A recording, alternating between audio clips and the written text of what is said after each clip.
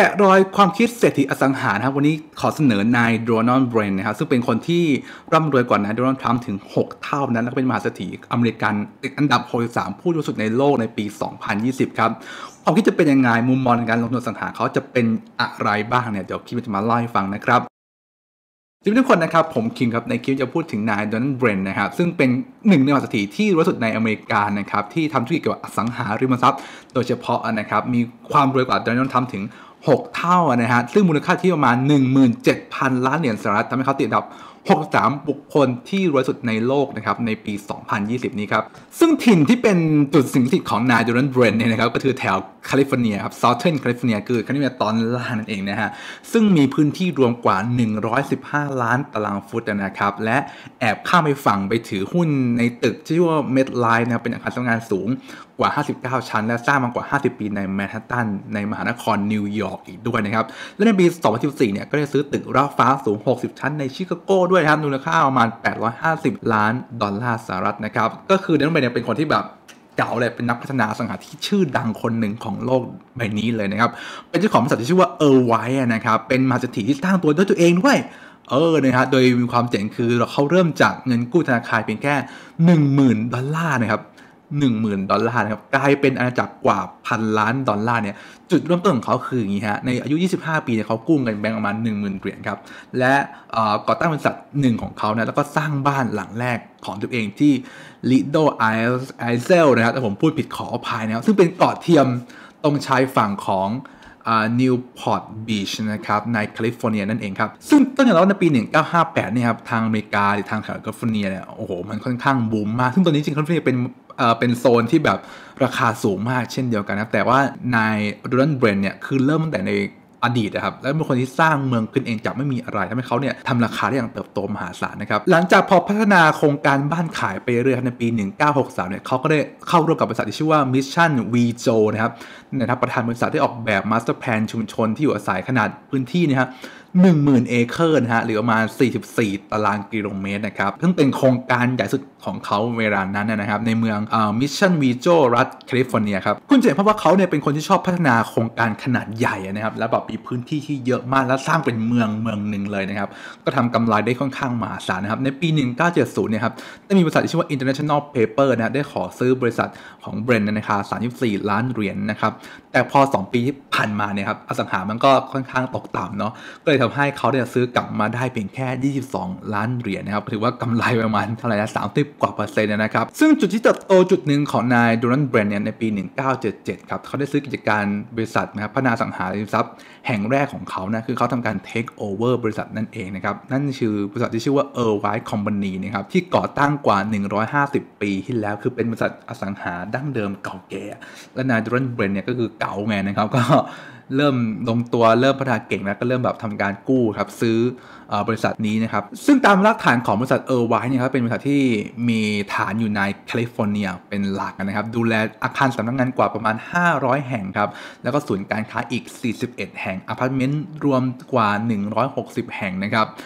ทั้งหมดเนี่ยประมาณ 50,000 ห้องแล้วก็โรงแรมอีก3แห่งครับก็คือซื้อปุ๊บเนี่ยนะครับก็จะมีอสังหาที่ติดมาด้วยเลยถูกไหมฮะก็คือเหมือนซื้อ port อสังหาขนาดใหญ่เลยนะครับซึ่งปัจจุบันเนี่ยนายโดนัลด์เบรนเนี่ยก็อายุ 88 ปีแล้วนะครับแต่ยังไม่หยุดทำงานแล้วยังพัฒนาที่ดินขนาด 100 เอเคอร์นะฮะหรือประมาณ 0.4 ตารางกิโลเมตร ย่านซานตาคลารานะครับที่ซิลิคอนวัลเลย์เพื่อก่อสร้างกลุ่มอาคารสำนักงานและร้านค้าอพาร์ตเมนต์ครับหลังจากทำงานและพัฒนาย่าน Orange County นะครับมา 20 ปีเนี่ยเขาก็เริ่มมองโอกาสการพัฒนาที่ดินขนาดใหญ่ที่สุดนะครับ คือนายโดนัลด์เบรนเนี่ยเป็นอะไรกับที่ดินขนาดใหญ่ไม่รู้นะคือแบบจะชอบแบบซื้อใหญ่ๆแล้วมาพัฒนาเมืองเลยนะครับ ตอนนี้เนี่ยเขาก็เลยได้พัฒนา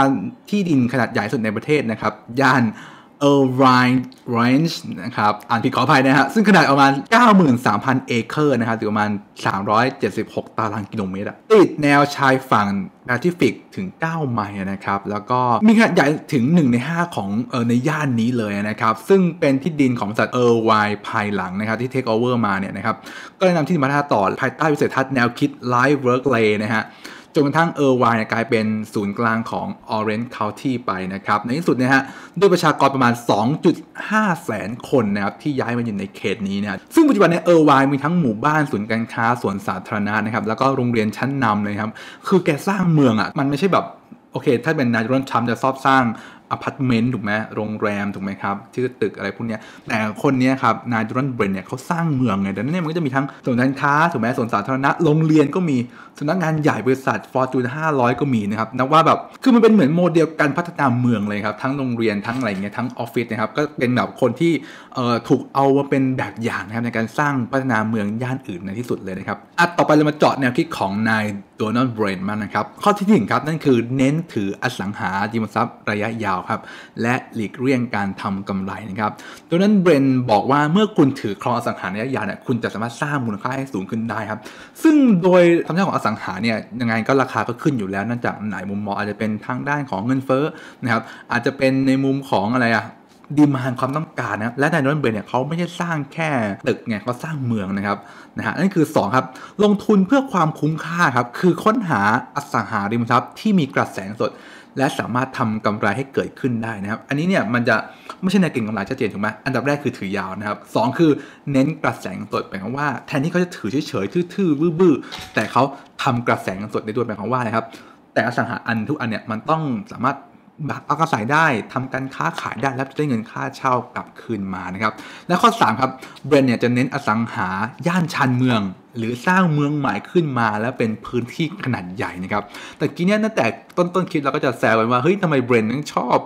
ทำสร้างเมืองนะครับ หรือว่าซื้อพื้นที่ขนาดใหญ่นะครับ ก็คือแนวคิดของเขาเนี่ยชอบสร้างเมืองนะครับ ชอบที่จะแบบพัฒนาจากไม่มีอะไรเลยแล้วเป็นเขตขอบเมืองนะครับ คุณจะเห็นว่านั้นเบรนเนี่ยเขาจะไม่ได้ซื้อพื้นที่ในเมือง เพราะอะไรหนึ่งในเมืองแพง พงมากแพงจนกลับไม่ได้นะครับสองฮะแล้วคุณได้พื้นที่ที่เล็กด้วยครับเพราะในเมืองเนี่ยอย่างน้อยคุณน่าจะหาแปลงใหญ่ๆยากนะครับ มันไม่มีแล้วถูกไหมแต่การมาสร้างนอกเมืองเนี่ยหนึ่งคือราคาถูก 2 คือมันจะมีขนาดแปลงที่ใหญ่นะครับสคือมันก็ยังใกล้เมืองถ้าแบบเมืองมันขยายมาหรือว่าเออเมืองมันจะเติบโตขึ้นหรือแม้กระทั่งจะสร้างที่พักอาศัยเพื่อเข้าไปทำงานในเมืองมันก็ได้ เพราะว่าอาจจะผมเนี่ยอยากอยู่นิวยอร์กซิตี้แต่แพงเหลือเกิน ก็อาจจะออกไปอยู่ข้างนอกเมืองหน่อยแล้วขับรถมาทำงานอะไรอย่างเงี้ยครับแต่โซนที่ผมอยู่ในโซนนอกเมืองเนี่ยอาจจะต้องมีโรงเรียนลูกด้วยไหมถูกไหมฮะอาจจะต้องมีเอ่อสวนสันทนาการไหมห้างสินค้า แล้วบางครั้งถ้ามันบูมมากๆเนี่ยมันอาจจะเป็นเมืองใหม่เมืองหนึ่งเลยที่แบบ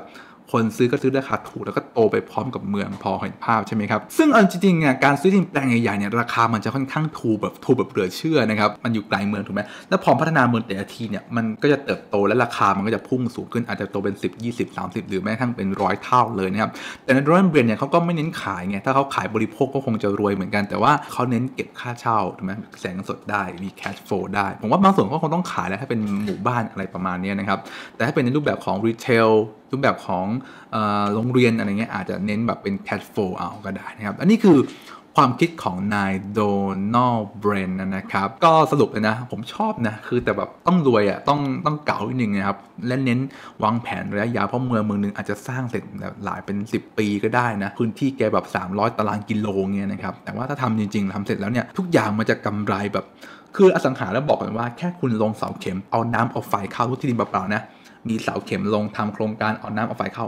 ราคาเพิ่มขึ้น 30 ถึง 40%แล้วนะครับ อันนี้แค่ที่ดินที่พัฒนาแล้ว แต่ถ้าเป็นเมืองที่พัฒนาแล้วล่ะ มันจะเติบโตกี่เท่า อันนี้ต้องคิดดูนะครับ ยังไงก็อลังการแน่นอน เพราะต้นทุนเขาถูกเนาะ นี่คือมุมมองความคิดของนายดรันเบนนะครับ แล้วคุณมีความคิดว่าอย่างไร คุณเห็นว่ามันชอบตรงไหนดีอะไร คอมเมนต์มาเล่าให้ฟังหน่อยนะครับ ถ้าคุณชอบซีรีส์เศรษฐีอสังหา ลงทุนแบบในคลิปแบบไหนเนี่ยแล้วก็อยากได้ใครนะ ก็คอมเมนต์บอกกันหน่อยนะครับ ขอบคุณที่คุณนั่งฟังจนจบ ถ้าคุณชอบอย่าลืมกดไลค์ กดแชร์คลิปนี้ให้คนที่คุณรักด้วยนะ แล้วก็เจอกันใน